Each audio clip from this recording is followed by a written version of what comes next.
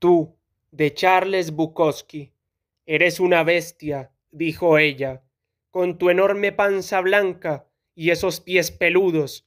Nunca te cortas las uñas, además tienes manos regordetas, garras de gato, nariz roja brillosa y los huevos más grandes que he visto en mi vida disparas esperma como una ballena roja agua del orificio de su espalda. Bestia, bestia, bestia. Luego me besó. ¿Qué quieres de desayunar?